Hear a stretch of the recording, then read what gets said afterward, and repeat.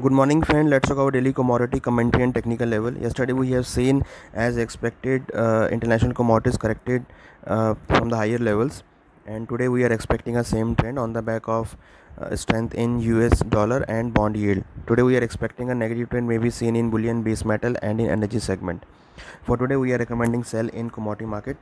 Uh, for today, technical level are as follows: gold support at 50,200, resistance 50,800 silver support 56200 resistance 57300 copper support 640 resistance 650 zinc support 271 resistance 275 lead support 173 resistance 178 nickel support 2020 resistance 2050 aluminum support 206 resistance 210 crude oil support 7400 resistance 7900 natural gas support 410 resistance 450 for today we are recommending sell in bullion base metal and in energy segment we hope that you really benefited from this commentary. Thank you